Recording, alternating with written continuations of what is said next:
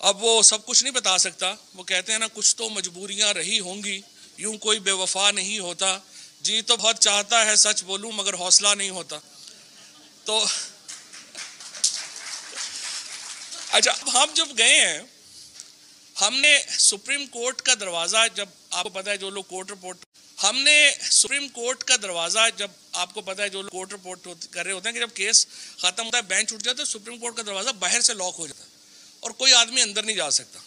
अब इतफाक से मैं और एक दो, हमारे और दोस्त जो थे, हम लोग पहले पहुँचे और हमने दरवाज़ा लॉक खोला हमारे सामने हम लॉक खोलने के बाद अंदर गए तो पता चला चीफ इलेक्शन कमिश्नर और सेक्रेटरी पहले ही लॉक शुदा कमरे में मौजूद है। अच्छा अब ये कैसे हुआ? बहरहाल, फैसला आपके सामने आ गया